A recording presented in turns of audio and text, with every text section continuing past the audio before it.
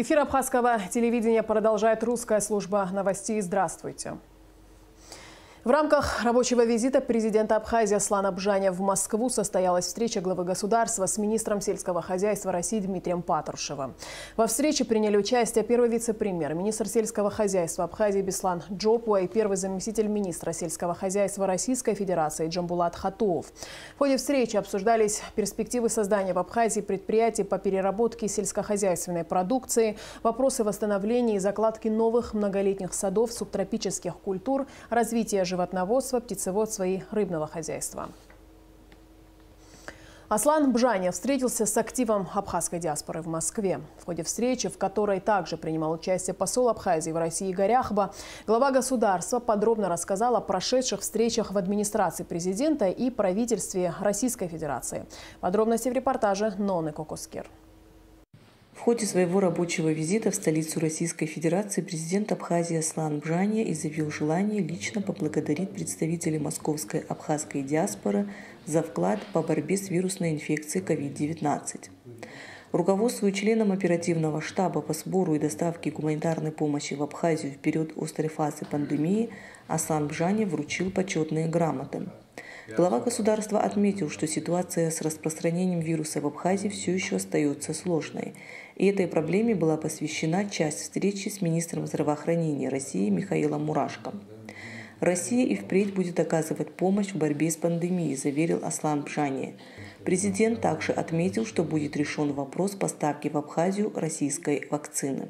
В разговоре с министром здравоохранения и в администрации президента наши российские друзья выразили готовность оказать нам поддержку в плане поставок а, вакцины.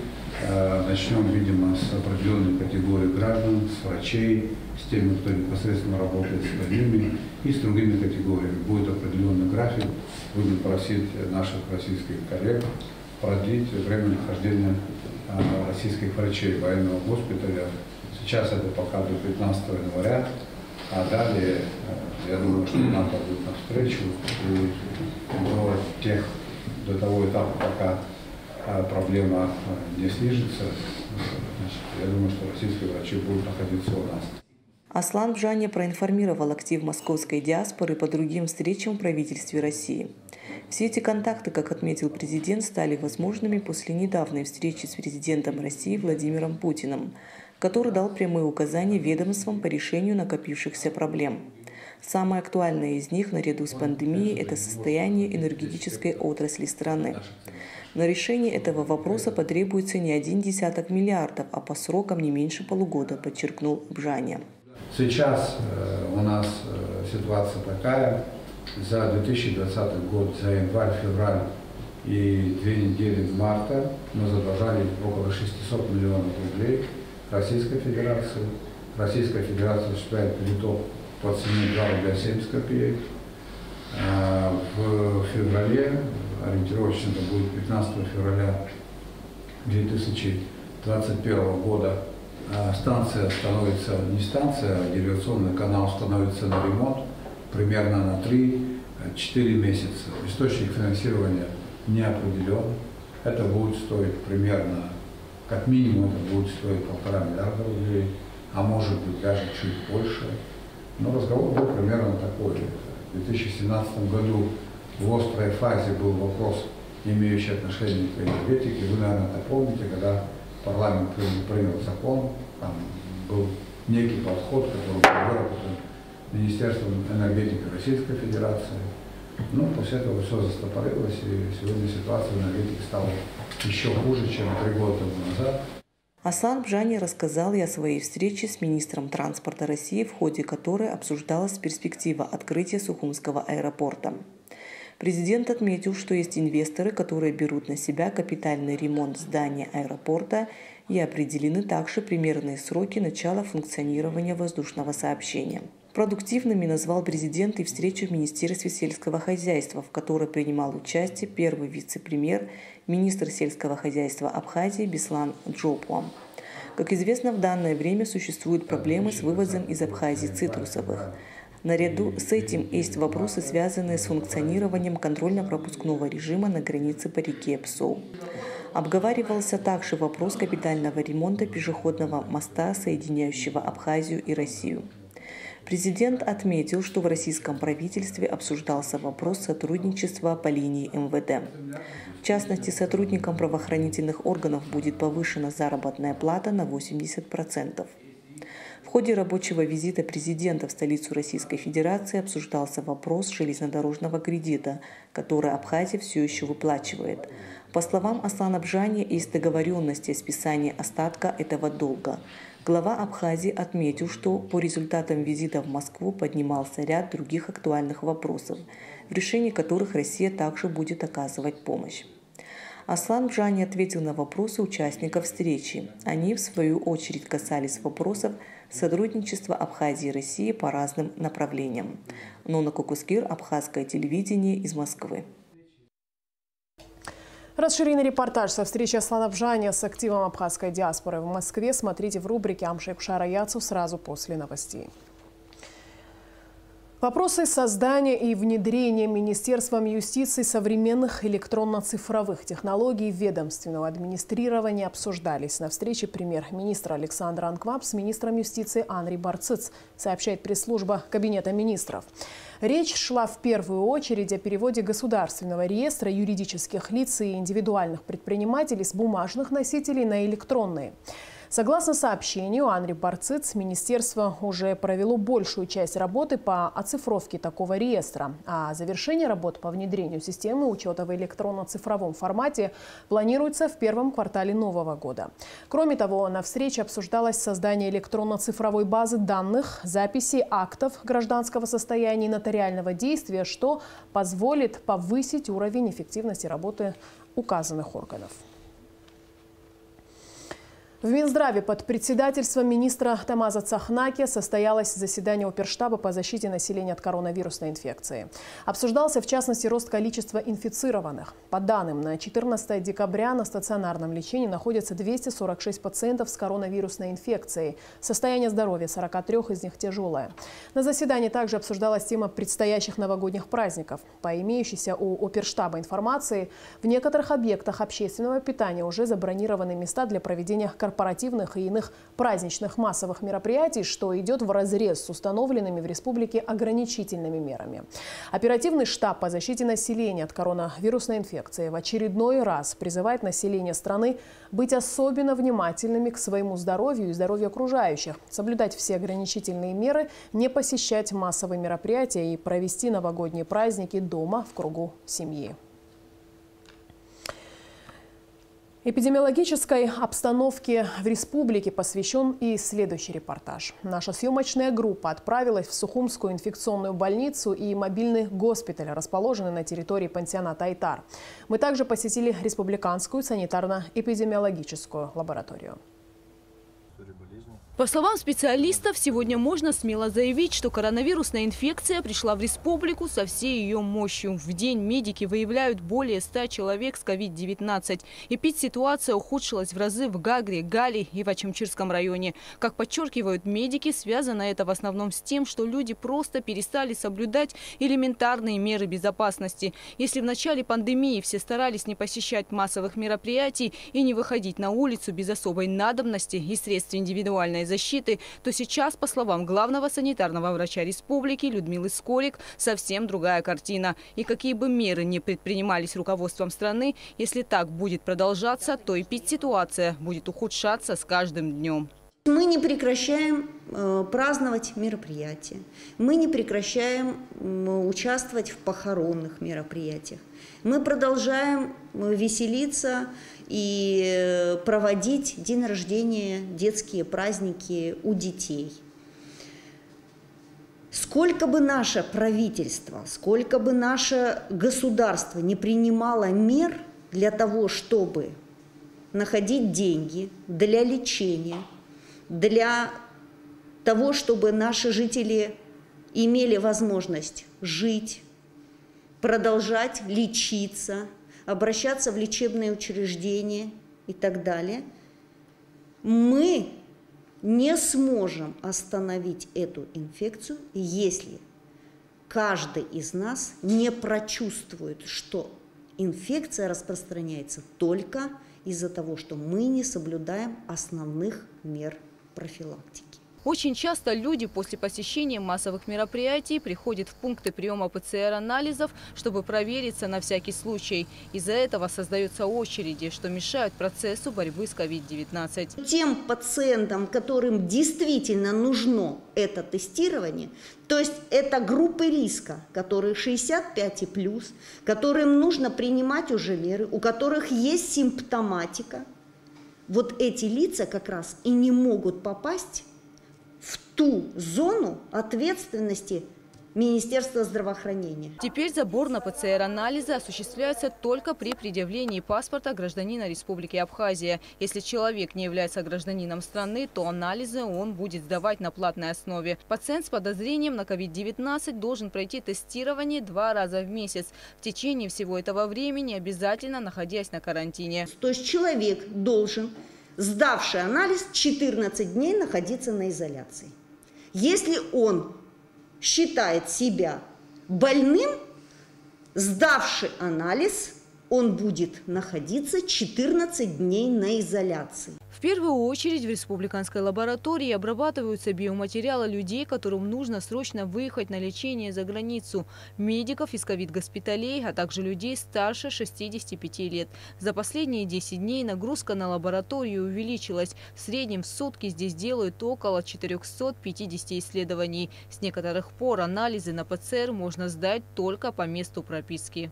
Было решено, что вообще уже будут производить э, по месту прописки с, с, с паспортом, то есть на заборном пункте, и по месту прописки, по месту жительства в определенном районе, дабы избежать таких э, случаев, когда один пациент мог, может сдавать в нескольких местах. То есть он э, сдает в одном заборном пункте, едет в другой заборный пункт, потом в третий заборный пункт, и за один день он может сдать несколько, несколько раз.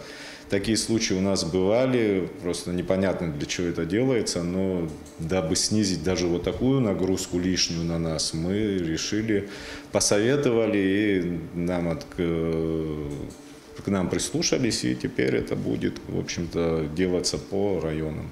На сегодняшний день в Сухумском мобильном госпитале проходит лечение 58 человек, из них четверо в тяжелом состоянии. Всего за весь период здесь прошли лечение 250 больных коронавирусной инфекцией. Проведено около трех с половиной тысяч ПЦР-исследований. У нас 12 аппаратов искусственной, искусственной вентиляции легких. Э, с медикаментами никаких проблем нет.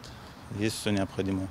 Мы принимаем жителей со всей республики Абхазия и также с других районов помимо Сухума. Нас э, более 100 человек медицинского персонала. Ну, если быть точным, 114 человек. Эти врачи находятся в мобильном госпитале с конца октября. На вопрос, какая у них по счету смена, затрудняются ответить. Я врач-реаниматолог. Вот. Сменно уже по счету, честно говоря, сбился. У нас по 12, по 15 смен бывает. У нас э, обычно на ну, 5 коек. Вот. В среднем по 4-5 по пациентов. Вот, самые тяжелые обычно лежат. В Сухумской инфекционной больнице пациентов с каждым днем становится все больше. Свободных койко-мест здесь не бывает, а их около 35. Ситуация тяжелая, естественно, и в нашей больнице, и во всех остальных учреждениях в том числе. Э, тяжелая тяжесть в чем э, заключается? Очень много больных. Очень много больных, и почему-то очень много тяжелобольных поступает в последнее время. С чем связано, не могу сказать. Вот. А у нас вот 35-36 коек, и постоянно они как бы у нас загружены. Как только мы выписываем больного, следом обязательно госпитализируем. Два ИВЛ-аппарата у нас, на которых постоянно больные. Много кислородных точек, все они тоже все время заняты. То есть тяжело больные, это крайне тяжелые, которые на аппарате, а все остальные тоже тяжелые. Э, то есть легких больных мало. Неужели люди не видят, что вокруг творится? Посмотрите на своих близких, которые умирают, посмотрите на своих близких, которые становятся инвалидами после этой болезни. Это очень тяжелая, серьезная, смертельная болезнь. Почему так легкомысленно все к этому относятся? Я не понимаю, где средства защиты, почему все так ходят, почему все увеселительные заведения работают, почему э, отмечаются корпоративы до сих пор. Неужели не видят, что вокруг делается, что вокруг творится?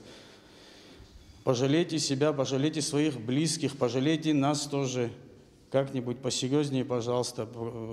Это не только у нас такая ситуация, такая ситуация во всем мире, чтобы вы понимали. Врачи вновь обращаются к населению республики с призывом соблюдать меры безопасности, чтобы сберечь здоровье себе и своим близким. Гугуца Вардания, Алексей Гухава, Тимур Гугохи, Алексей Баструков. Абхазское телевидение. У бригады медиков Сухумской скорой помощи выявлена коронавирусная инфекция. Как они себя чувствуют и отразилось ли их отсутствие на работе скорой помощи, выясняла Щезина Ханагуа. Статистика заболеваемости COVID-19 в нашей стране не улучшается. При этом столичная скорая помощь работает в штатном режиме, принимая звонки как обычно. В Сухумском пункте скорой помощи работают три группы и еще одна в новом районе. Несмотря на то, что медики обеспечены всеми необходимыми средствами индивидуальной защиты, у новорайонской бригады был подтвержден COVID-19. Новорайонская бригада в составе четырех смен, она заболела, вышла из строя, скажем так, э, половина бригады. Те, которые остались на работе, они диспетчерскую службу ведут на телефонный номер э, Новороинской подстанции, постоянно работают, отвечают, э, значит, и передаются вызова, и всеми нашими силами мы успеваем пока, э, значит, э, обслужить наше население, э, оказывая медицинскую э, помощь. Значит, э, Э, это что касается персонала. И слава богу, каждый, кто вот заболел, э, а их у нас немного, там э, в каждой смене по три человека, значит, это шесть человек две смены, ну, есть, которые уже выздоровели тоже. Значит, это для большого нашего коллектива вообще это э, даже не цифры. По словам Аслана Джупо, на сегодняшний день состояние здоровья сотрудников скорой помощи улучшилось. Всем им оказывается необходимая помощь. Нашим сотрудникам нигде, ни в каком лечебном учреждении не отказано в помощи.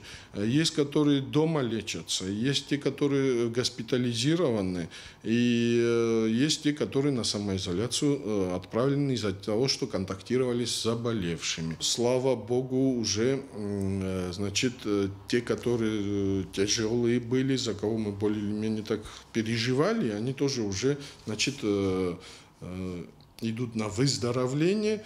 Ну, а остальные, которые даже есть легко перенесли, это вообще прекрасно, значит, проблем нету.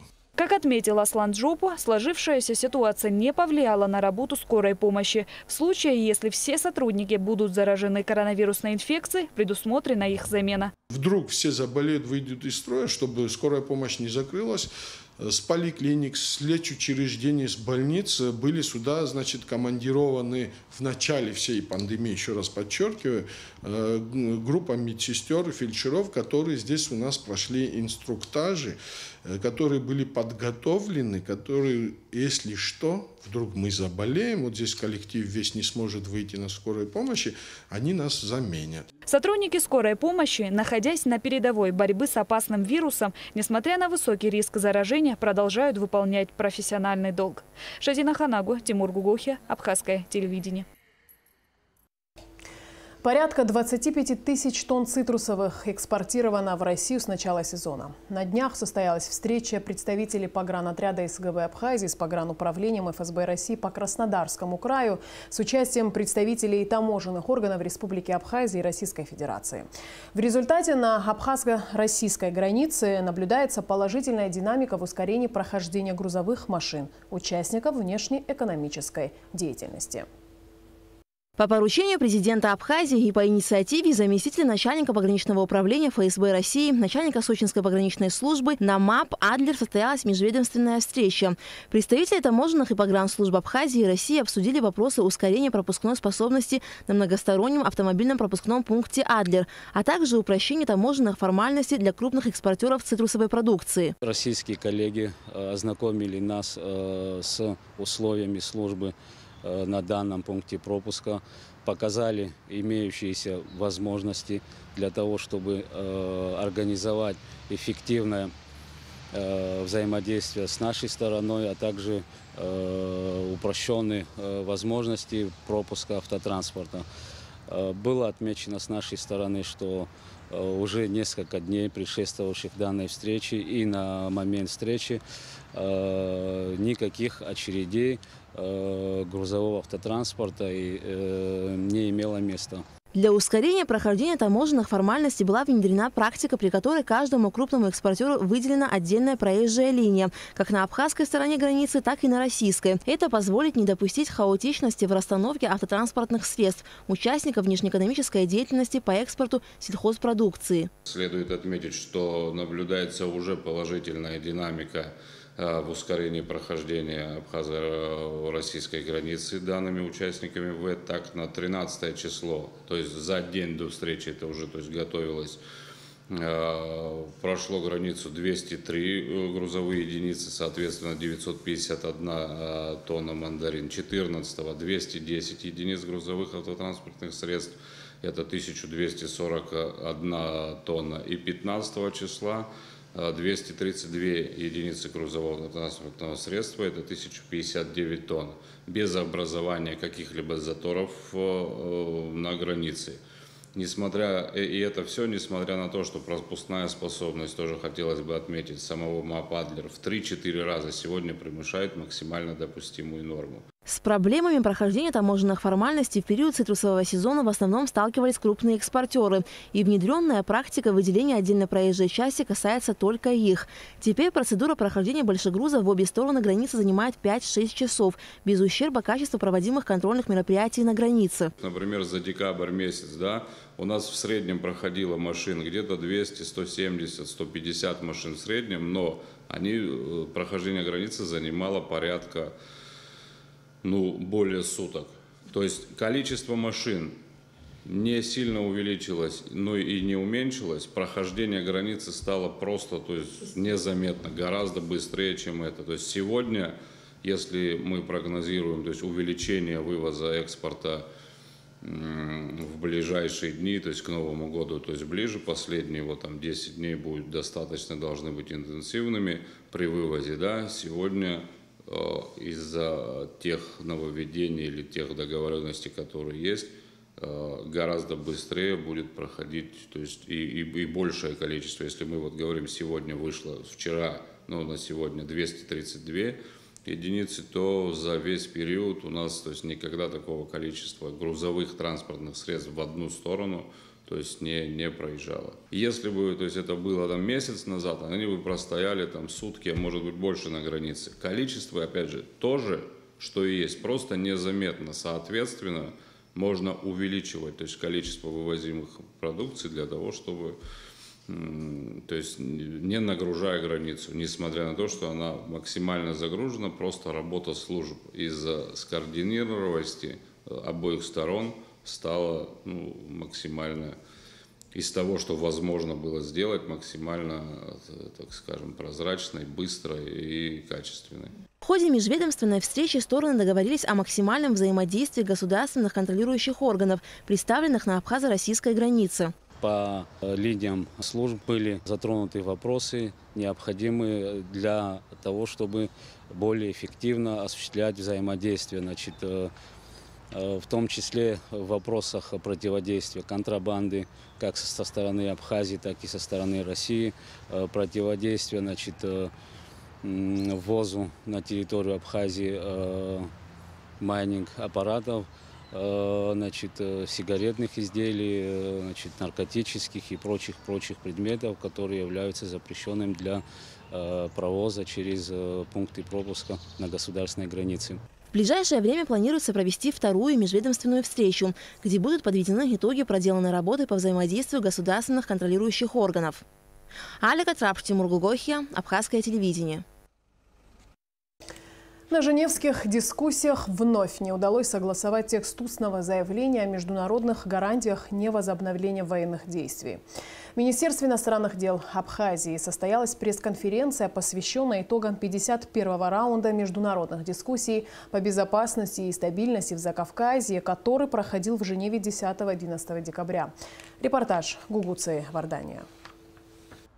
На сегодняшний день Женевские дискуссии – это единственная площадка для диалога Абхазии, Южной Осетии и Грузии. Во встречах также участвуют представители России, США, ООН, ОБСЕ и Европейского Союза. Главная цель переговоров – обеспечение безопасности и стабильности на Южном Кавказе. Абхазская делегация постоянно подчеркивает факт непрекращающегося наращивания военного потенциала Грузии. Однако за все эти годы так и не удалось достичь положительных результатов в вопросе подписания документа о неприменении применении силы против Абхазии. Существует такая вот двоякая позиция грузинских э, коллег, которые пытаются подменить понятия и исказить существующую реальность, в результате чего мы не можем прийти к общему знаменателю на протяжении долгих лет. Что касается нашей точки зрения, которая с которой солидарны как осетинские, так и российские коллеги, значит, она заключается в том, что Грузия являлась, э, неоднократно являлась Э, выступала в качестве агрессора в отношении Абхазии и Южной Осетии. На протяжении многих лет, лет это происходило, и по нашему глубокому убеждению именно Грузия должна взять на себя обязательства о неприменении э, вооруженной силы в отношении э, наших двух республик. Ну, к сожалению, и на этом раунде нам не удалось убедить наших грузинских оппонентов, оппонентов в необходимости согласования и дальнейшего подписания документа о неприменении силы. Хочу а, отметить, что на данном этапе речь не идет о а, подписании полноценного соглашения. Пока что речь идет всего лишь о согласовании устного текста, устного совместного заявления всех участников Женевских дискуссий. Но даже такое устное соглашение о неприменении силы грузинская сторона не готова подтвердить. По словам участников абхазской делегации, все эти годы Грузия ничего не предлагает, а лишь вводит процесс переговоров в тупик. Это мешает выступать представителям Абхазии и Южной Осетии на других международных площадках. Проблема женевских дискуссий состоит в том, что я вот э, проводил параллели с с предыдущим нашим переговорным процессом, который длился с 1993 года, сразу после окончания э, войны в Абхазии, до 2008 года, значит, э, тогда у нас были э, э, подписаны двухсторонние соглашения с Грузией, где четко были э, обозначены стороны конфликта, были обязательства этих сторон обозначены и так далее. Этот процесс проходил под эгидой ООН при посредничестве Российской Федерации. А, тогда это все было делать намного проще, потому что были определены стороны и их обязательства. Сейчас в нынешнем, в новом вот этом женевском формате, который возник в результате, а, как, в результате событий 2008 года, а, то есть единственный документ, единственная ссылка, на, на основе которой мы ведем работу, это шестой пункт Медведева-Саркози. Ну, вы знаете небезызвестный план Медведева-Саркози. Так вот, в шестом пункте там говорится о необходимости начала полноценного диалога по обеспечению безопасности э, Абхазии и Южной Осетии. Вот это, пожалуй, единственный документ, на основании которого эти дискуссии э, были начаты. Но не существует, в дальнейшем не было создано ни одного регламентирующего документа, в котором были бы отражены, отражены стороны конфликта. Ираклий Тушба отметил, что проблема в том, что грузинская сторона пытается манипулировать обстоятельствами и отрицает существование грузино-абхазского конфликта. Они говорят о том, что существует некий, ну, вымышленный, по нашему мнению, конфликт между Грузией и Россией, и, соответственно, они призывают э, российские власти взять на себя обязательства по неприменению силы. Но, естественно, с таким подходом мы категорически, ни мы, ни российские коллеги, ни югоосетинские не согласны. И вот в этом вот именно заключается проблема и тот тупик, в котором мы находимся. В ходе 51-го раунда женевских дискуссий ее участники, за исключением грузинской стороны, оценили ситуацию в Абхазии как стабильную и безопасную. За последний период времени не было отмечено каких-либо серьезных инцидентов. Тем не менее, мы заявили о том, что не прекращаются постоянные попытки а, незаконного перехода государственной границы со стороны Грузии, в результате чего достаточно большое количество граждан Э, задерживаются, в отношении них э, э, выносятся административные штрафы, в основном это административная ответственность, но бывают рецидивы, когда люди получают реальные, реальное уголовное преследование и отбывают сроки наказания. В рамках женевских дискуссий была обсуждена еще одна тема – преступление, имевшее место в городе Гал 30 сентября, когда гражданин Грузии Иракли Бебо умышленно поджег полотно, символизирующее национальный флаг Абхазии. 7 декабря текущего года он был приговорен к 9 годам лишения свободы. Это вызвало не очень адекватную реакцию со стороны наших грузинских оппонентов. Хочу напомнить, что было, были ряд заявлений сделаны со стороны представителей СГБ Грузии, которые потребовали немедленного освобождения господина Бебуа и заявили о том, что этот арест носит незаконный характер. Ну, в своем выступлении мы а, обратились к представителям СГБ Грузии, которые также присутствуют на раунде в грузинской делегации, с резонным вопросом относительно того, что а, почему-то в, в, в, непосредственно в СГБ Грузии и вообще у грузинских властей сложилось, видимо, не совсем правильное восприятие текущих процессов, и почему-то а, грузинские власти решили, что граждане Грузии имеют возможность совершать э, преступления на территории другой страны и при этом не нести никакой ответственности. Ну вот мы обратились с подобным вопросом к нашим грузинским коллегам, но, к сожалению, не, уж, не услышали никакого вразумительного ответа на этот вопрос.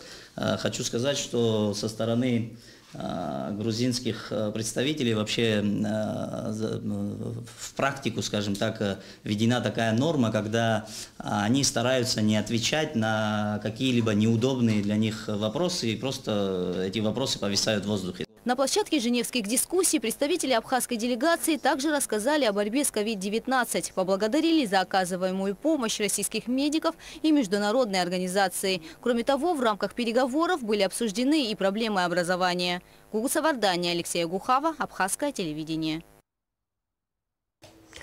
Консульский отдел посольства России в Абхазии сообщает о приостановке приема посетителей с 28 декабря по 10 января 2021 года в связи с новогодними праздниками.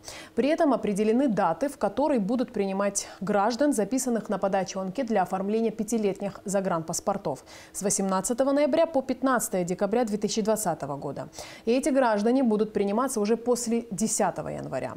С графиком приема можно ознакомиться на официальной странице посольства посольства в социальной сети Facebook. А сейчас информация о погоде. По сообщению синоптиков, в Абхазии ожидается облачная с прояснениями погода, временами небольшой дождь. Температура воздуха ночью плюс 3-8, днем 5-10 тепла. Температура морской воды плюс 14.